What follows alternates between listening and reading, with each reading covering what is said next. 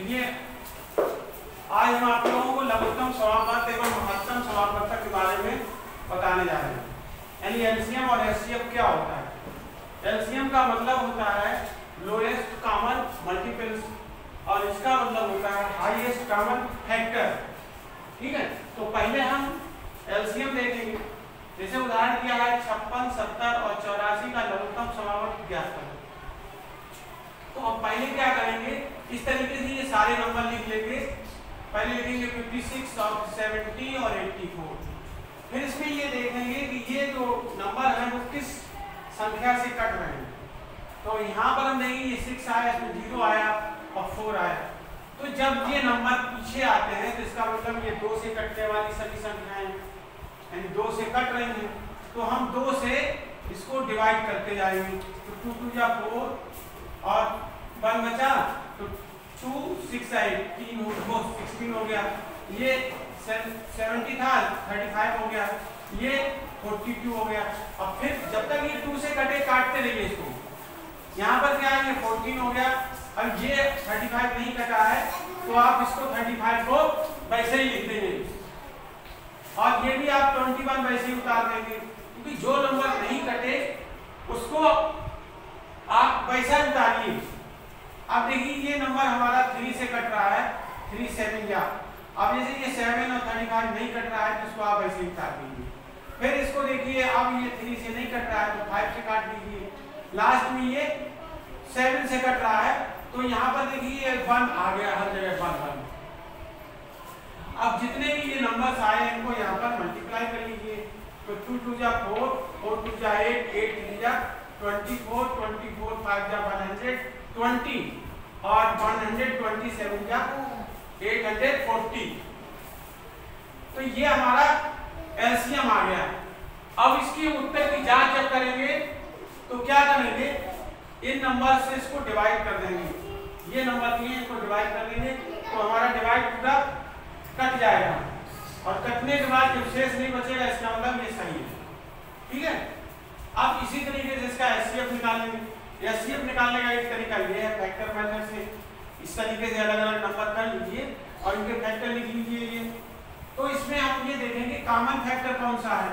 तो ये दो हमारा ये इसमें कॉमन हो गया। इसके बाद सेवन देखिए। सेवन इसमें कॉमन हो गया।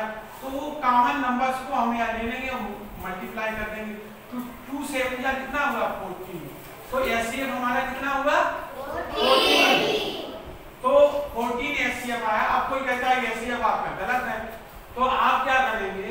ये 14 जो संख्या है, आपका जो एचसीएफ आया है 14 इससे आप, ये जो नंबर 3 दिए गए, इनको आप डिवाइड करेंगे तो 14 से कट जाएगा। जैसे 14 4 जा 14 4 जा कितना होता है? 5 और इसके बाद 14 5 जा, और 14 7 जा। ये कट रहा है ना? इसका मतलब हमारा एचसीएफ सही है। इस तरीके से आप चेक करके बता देंगे। अब नेक्स्ट देखिए, ये नंबर दिया हुआ पाँच, दस और पंद्रह। तो उसी तरीके से निकालेंगे। ये पहला हमारा नंबर टू से कटा। जैसे फाइव नहीं कट रहा है तो फाइव हमने उतार दिया। और टू फाइव का टेन होता है तो फाइव आ गया। फिफ्टीन नहीं कटा, ऐसे उतार दिया। फिर थ्री से कट किया। फिर इसके बाद इसको काटने के बाद फिर हमने फाइव से इसको कट कर दिया। कायदे से नहीं बैठ सकते। इसके बाद इसको करेंगे। टू थ्री या सिक्स सिक्स फाइव या थर्टी तो एलसीएम हमारा कितना आया? थर्टी आएगा तो अब ये तो हमारा वो एलसीएम हो गया। अब हम इसको अगर एससीएफ निकालते हैं भाग में से तो इस तरीके से निकालेंगे ये छोटी संख्या इधर लिखेंगे, बड़ी इधर लिखेंगे। तो फाइव टू या टेन ये पूरा कट गया। अब हमारा नंबर लग गया है फिफ्टीन तो फिफ्टीन को फाइव से कट करेंगे तो कट गया। अब इसका मतलब ये एससीएफ जो है हमारा पाँच इसलिए आ रहा है कि पाँच से ये सारी संख्याएँ डिवाइड हो गई पाँच का अगर पाँच में भाग देंगे एक बार जाएगा पाँच का दस में भाग देंगे बार जाएगा। पाँच का पंद्रह भाग देंगे, तीन बार जाएगा। तो इस तरीके से ये हर संख्या को काट रहा है। तो एस क्या होगा यानी हाईएस्ट कॉमन फैक्टर हमारा क्या होगा पाँच होगा ये भाग विधि होती है। भाग विधि से लगाना चाहो तो आप ऐसे लगाएँगे और फैक्टर मेथड से लगाओगे तो आप ऐसे लगाएँगे कि इसमें आपको कॉमन फैक्टर फिर देखने पड़ेंगे। इसमें आपको कॉमन फैक्टर नहीं देखने पड़ेंगे। दूसरा उदाहरण ये और वन थर्टी फाइव का। ये दिया है तो 81 हमने इधर लिख दिया 195 इधर लिख दिया। अब इसको हम डिवाइड करते हैं, क्योंकि टू अगर इसको करते हैं तो ये नंबर ज़्यादा हो जाता है। तो एक बार गया। एक बार करने के बाद ये इतना शेष आ गया, चौवन आ गया। फिर चौवन में हमने एंटी वन से किया तो एक बार फिर गया। अब यहाँ पे सत्ताईस आ गया। तो सत्ताईस से ये कट गया पूरा। यानी ट्वेंटी सेवन टू जा फिफ्टी फोर हो दो बार गया। तो अंतिम संख्या हमारी क्या है? जिससे ये कटा है सत्ताईस है। यही हमारा उत्तर होता है। ये जो लास्ट में जिस नंबर से कटेगा यही एस होता है। समझ गए नहीं? अब आप इस तरीके से इसका एलसीएम भी निकाल सकते हैं। ये आपका एलसीएम हो गया ये एलसीएम हो गया।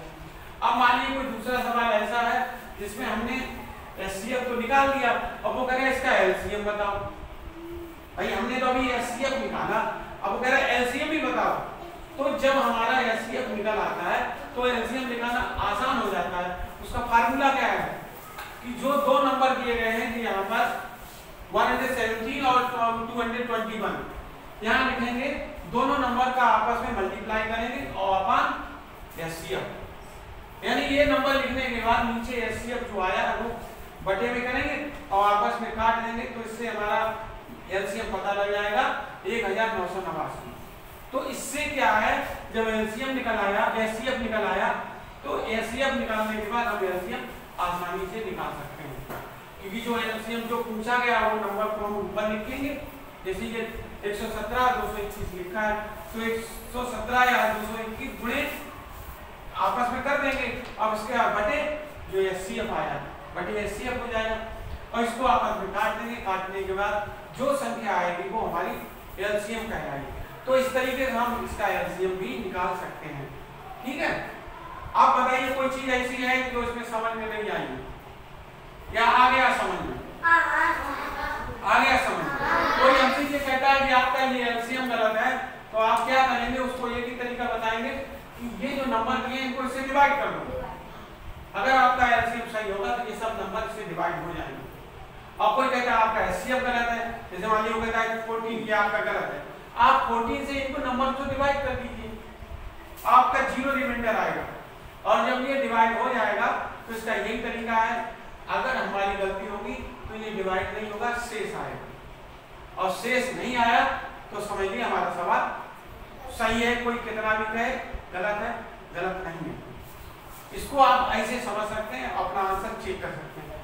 आंसर सीट देखने की ज़रूरत नहीं पड़ेगी। एलसीएम चेक करना है तो इन नंबर से इसे डिवाइड कर दो।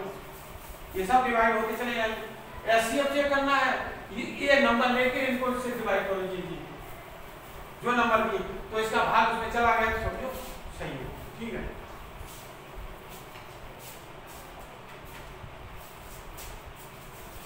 देखो क्या कह रहा है।